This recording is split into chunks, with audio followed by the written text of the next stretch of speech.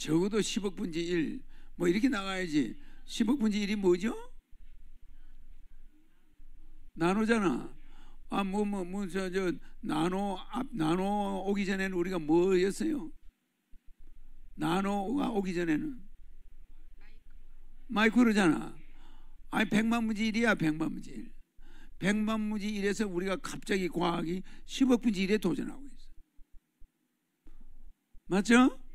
어, 백만 분지 1을 따지던 민족이 갑자기 10억 분지 1로 들어갔단 말이야. 어?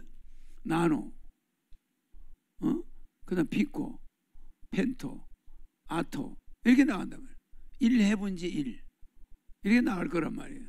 알겠죠? 이렇게 나아가는데 한자 두치 가지고 됩니까? 안 되는 거야 이게.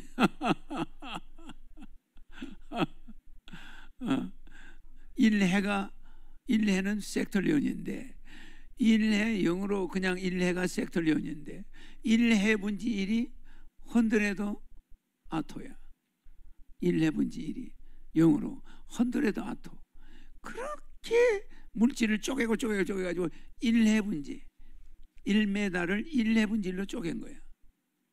그렇게 쪼개니까 그런 과학이 백궁의 과학이고 지구의 과학은 이제 10억 분지 1에 들어가고 있어.